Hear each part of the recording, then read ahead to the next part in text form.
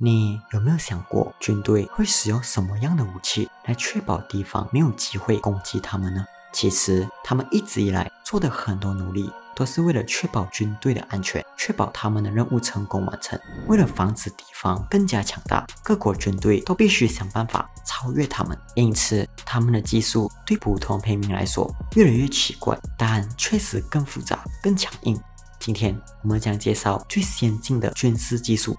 这些技术可以帮助军队完成令人难以置信的任务，你一定要坚持看到最后，因为它绝对会让你大吃一惊。快速爆破器，在打倒敌方的过程中，如果士兵破门而入，在敌方的住所，绝对会惊扰到敌方。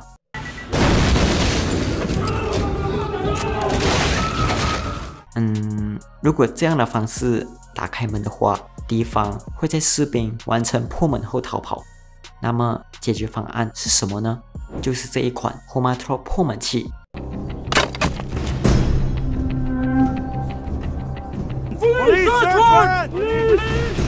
Homatro 破门器是破门领域的最新创新，可突破带有多重锁的内凯式门，速度与炸药相当，但不会扬起尘埃，而且在门被打开之前。几乎听不到任何声音。这款工具的安装简单快捷，轻轻按下破门器上的按钮，便可将其夹在门框中。远程操作更是它的一大优势，士兵可以与门保持一定距离，远程激活破门器的启动和快速释放功能。通过全新的无线控制套装，距离最远可达一百米。这套系统体积小，质量轻，一人即可携带、安装和操作。为士兵们节省能力，让其他士兵可以专注于其他操作任务。破门速度极快，无噪音，是破门领域的突破性解决方案。M3 扶门桥，在很久之前，军队在跨越河流方面是很困难的，因为河流太深，导致他们的车辆无法驾驶过去。如今，M3 扶门桥的发明，跨越河流再也不是一个挑战了。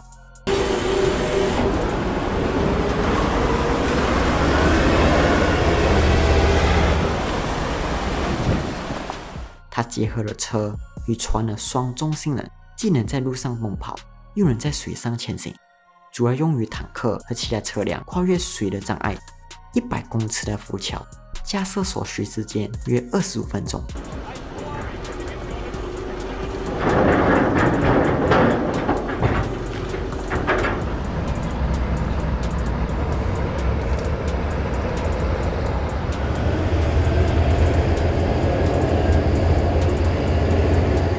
到二零二三年为止，这 M3 佛门桥主要服役于欧洲的德国与英国。目前在亚洲的话，新加坡应该也买了。只有台湾拥有这种全球最先进佛门桥车。M1150 突击破障车，地雷作为一种价格低廉、便于制造的武器，可以非常方便的被布置在很大的范围内。也给敌人的军事行动带来阻碍。美国在阿富汗战场就曾被地雷搞得焦头烂额。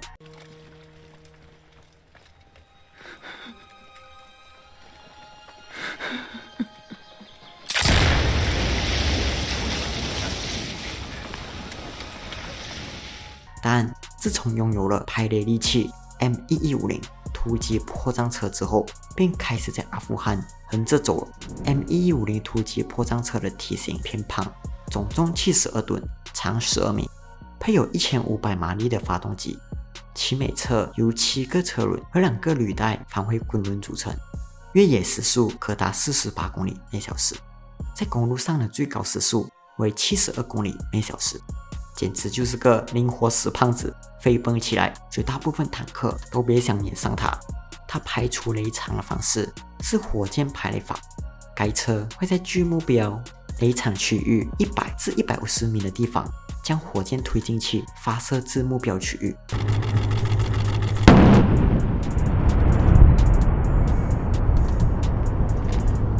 在依靠牵引锁调整好起爆锁之后，并引爆起爆锁。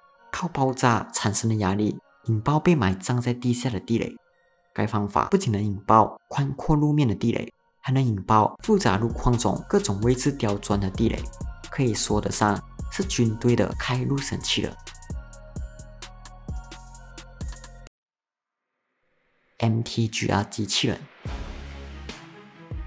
军人在作战中遇上了很多环境的困扰，众多地道防不胜防，因此以色列国发明了为微型战术地面机器人开发了新作战能力，它名为 Micro Tactical Ground Robot，简称 MTGR。通过配备激光雷达和各种光电传感器，该机器人能够在环境复杂的建筑物内。或封闭环境中，以引导跟随模式与士兵一同参与作战行动，专门用于军队在崎岖山地、城镇、涵洞和地下通道等士兵无法进入的环境中执行情报收集、侦察监视、战场巡逻以及核生化爆炸诸方面的勘测和处理任务。MTGR 机器人的最大亮点是其行走机构为独特的轮履复合式结构。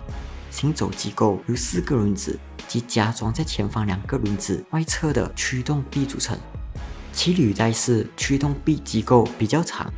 当遇到障碍物时，可以顶起前轮，以帮助机器人完成跨越三十五厘米的垂直障碍物，攀爬二十厘米高度的楼梯。折叠防弹盾牌，当传统的折纸技艺与现代科技发生了碰撞。会擦出怎样的火花呢？不久前，科学家们将传统的折纸技艺与现代科技相结合，设计了一款可以在五秒内完成组装的可折叠轻质盾牌。这个像折纸一样可折叠与展开的盾牌，不仅非常便捷，关键还能防子弹。与传统的防弹盾牌相比，它的重量更轻，只有二十五公斤，且展开后让两到三个藏在后面都没有问题。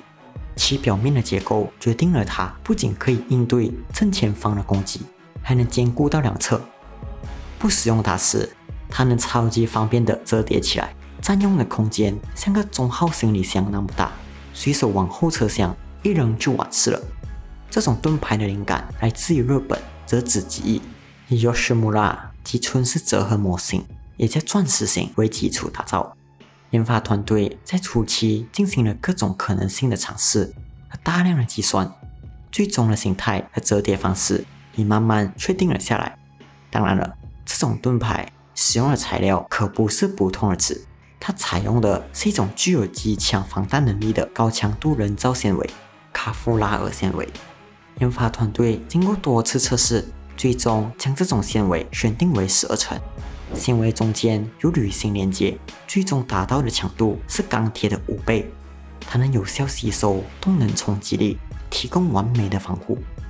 在测试过程中，研发团队用了 9mm 口径的357麦林枪对它进行了射击，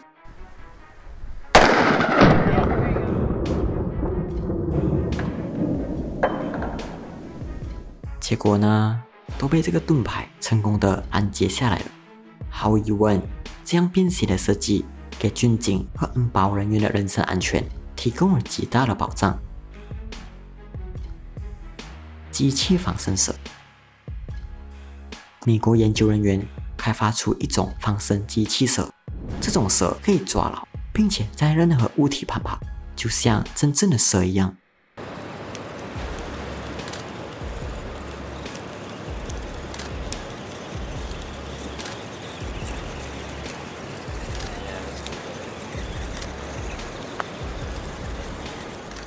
这种机器蛇可用于探索那些人类很难前往的区域，比如地震破坏后的灾区，也可以用于急救和军事用途。在军事上，这机器蛇可被用于爬进狭小的空间，给它装上针孔摄像头。它甚至可被用于间谍活动。这款机器蛇被武器化也是必然趋势，绑几个炸弹或者和士兵参与反恐战争，都将成为它可能的用途。半机械昆虫。刚刚那个仿生蛇是假的蛇，但这次是真的昆虫。对，是真的昆虫。新加坡南洋理工大学科学家在活昆虫的体内植入电极来控制昆虫的飞行。这种一半昆虫、一半机械的活昆虫机器人。科学家甚至可以通过提高脉冲频率来控制虫子的速度，是不是觉得很疯狂呢？这滚虫主要用来配备微型相机，来记录他们遇到的任何事情。这样微小而不显眼的东西，在监视人方面可厉害了。所以，当你注意到家里有昆虫，你可要注意了。开玩笑，开玩笑。变身潜水艇。虽然我们距离发明詹姆斯·邦德的隐形冲浪车还有很长的路要走，